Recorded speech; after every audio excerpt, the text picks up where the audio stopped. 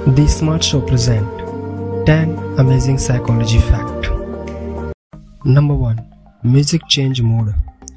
हम सभी जानते हैं कि म्यूज़िक हमारे मूड को बदलने की क्षमता रखता है एक हाई एनर्जेटिक म्यूज़िक को सुनने से आप मोटिवेट फील करते हैं और एक सैड म्यूज़िक आपको उदास और उदास महसूस करा सकता है आप किस तरह का म्यूज़िक सुनना पसंद करते हैं यह वास्तव में प्रभावित करता है कि आप इस दुनिया को कैसे देखते हैं 2011 के एक स्टडी में लोगों को हैप्पी और सैड म्यूज़िक सुनते हुए हैप्पी और सैड इमोजी को मार्क करने का काम दिया गया। नतीजा ये देखा गया कि सैड म्यूज़िक सुनते समय अधिकांश लोग सैड इमोजी को मार्क कर रहे थे। और वहीं दूसरी तरफ़ हैप्पी म्यूज़िक सुनने वाले अधिकांश लोग बल्कि सभी लोग हैप्पी इमोजी को मार्क कर रहे थे। कहा जाता है कि जैसे जैसे आप देखते सुनते हैं वैसे वैसे आपका ब्रेन रिस्पॉन्ड करता है। यहाँ ठीक ऐसा ही हो रहा था। इसलिए एक्सरसाइज के दौरान एनर्जेटिक म्यूज़िक आप में जोश भर देता है और सॉफ्ट म्यूज़िक आपको कॉन्सेंट्रेट करने में मदद करता है। Number two Dunning Kruger effect 1999 में दो सोशल साइकोलॉजिस्ट ने पाया कि इंटेलिजेंट लोग हमेशा खुद को एवरेज से नीचे मानते हैं और कभी भी खुद को दूसरों की तुलना में अधिक स्मार्ट नहीं मानते। वहीं एवरेज आईक्यू वाले लोग इसका बिल्कुल उल्टा करते हैं।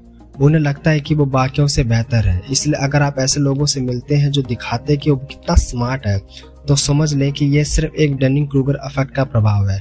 वो उतना इंटेलिजेंट नहीं है जितना दिखा रहे हैं। क्योंकि एक इंटेलिजेंट पर्सन अपने नॉलेज से कभी संतुष्ट नहीं होता। वो हमेशा अपनी क्षमता पर काम करता रहता है क्योंकि उसे लगता है कि वो इससे बेहतर कर सकता number three humming reduce stress एक समय ऐसा भी आता जब आप बहुत नर्वस और चिंतित महसूस करते हैं। ठीक वैसे जैसे एग्ज़ाम और इंटरव्यू देने से पहले। तो ऐसे समय आप खुद को कैसे शांत रखते हैं? साइकोलॉजी कहता है कि अगर आप उस समय अपना पसंदीदा गाना सुनते हैं या अपने मन में गुनगुनाते हैं तो काफ़ी हद तक फ़ायदा हो सकता है। यह सुनकर आपको थोड़ा अजीब लगेगा, लेकिन मन में अपना पसंदीदा गाना गुनगुनाने से आपके दिमाग में एंडोरफिन और ऑक्सीटोसिन हार्मोन रिलीज़ होने लगते हैं, और ये हार्मोन आपके स्ट्रेस लेवल को कम करने में मदद करता है। यह आपके मूड को बेहतर बनाता है और साथ ही यह आपके हृदय गति और कोर्टिसोल के स्तर को भी कम करता है, जिससे आप शांत और कॉन्फिडेंट फील करते हैं। Number four power of silence अगर आप चाहते हैं कि कॉन्वर्सेशन आगे बढ़े, लेकिन समझ नहीं आ रहा कि किस बारे में बात की जाए तो सबसे आसान तरीका है कि आप जिस किसी से भी बात कर रहे हैं, उससे एक सवाल पूछें और उसका जवाब देने के बाद भी उससे आई कांटेक्ट बनाए रखें। ऐसा करते रहे और जिस व्यक्ति से आप बात कर रहे हो, वो खामोशी से बचने के लिए कुछ न कुछ कहना शुरू कर देगा। अध्ययनों में देखा गया कि जब कोई कुछ छुपाता है, तब जानकारी हासिल करने के लिए एक सवाल पूछे और बस चुप रहे। क्योंकि किसी को भी बातचीत के दौरान खामोश रहना पसंद नहीं होता, जिससे बचने के लिए सामने वाला इंफॉर्मेशन शेयर करने लगता है या कुछ और बात करने लगता है, जिससे बातचीत चलती रहती है। नंबर फाइव प्ले डंप अगर आप अपने बारे में किसी के मन में एक अच्छा प्रभाव बनाना चाहते हैं तो किसी ऐसे विषय पर बात करें जो उन्हें वास्तव में पसंद हो और उनसे इसके बारे में सीखें। फॉर एग्ज़ाम्पल आप किसी ऐसे व्यक्ति से मिलते हैं जिसे अंतरिक्ष के बारे में बहुत ज्ञान हो। हो सकता है आपको उससे ज़्यादा ज्ञान हो। फिर भी ये दिखाए कि आप अंतरिक्ष के बारे में बहुत कम जानते हैं और उनसे इसके बारे में सवाल पूछे, जिससे वे आपसे बात करने में अधिक रुचि लेंगे। क्योंकि वो जिस बारे में बात करना चाहते हैं, आप उसमें रुचि दिखा रहे हैं। जो आपको एक पसंद करने योग्य व्यक्ति बनाता है और जैसे कि दलाई लामा कहते हैं, जब आप बात करते हैं तो आप वही दोहरा रहे होते हैं जो आप पहले से जानते हैं, लेकिन अगर आप सुनते हैं तो आप कुछ नया सीख रहे होते हैं। Number six, call people by their names. Psychologist कहते हैं कि हर व्यक्ति को अपना नाम सुनना बहुत पसंद है, क्योंकि हमारा नाम हम सभी के लिए बहुत इंपॉर्टेंट है। इसलिए जब कोई आपका नाम याद रखता है, तब आप अपने इम्पोर्टेंस को फील करते हैं। आपने देखा होगा कि जब कोई आपका नाम भूल जाता है तो आप इंसल्टेड फील करते हैं। इसलिए जब आप किसी से बात कर रहे हो तो अपने सामने उस व्यक्ति के नाम का यूज़ करें, जो उसे इम्पोर्टेंट महसूस कराएगा और वो आपके साथ अधिक कंफर्टेबल फील करेगा। नंबर सेवन मल्टीटास्किंग क्या आपको लगता है कि आप मल्टीटास्किंग कर सकते हैं?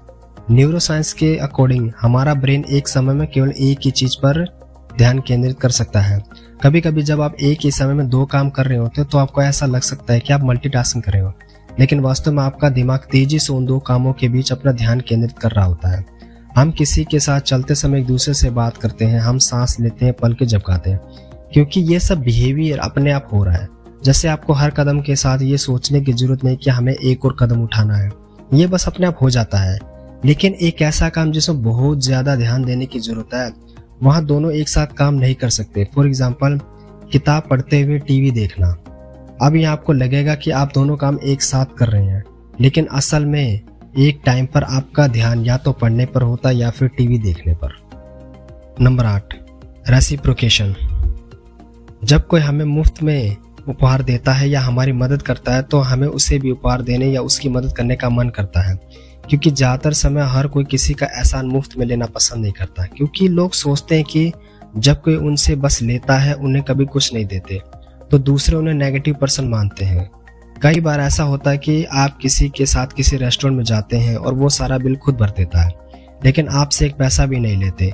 तो आपको स्वाभाविक ही लगता है कि आप उसे भी डिनर पर बुलाएँ, ताकि आप खुद पे करें, ताकि उनका एहसान उतार सके।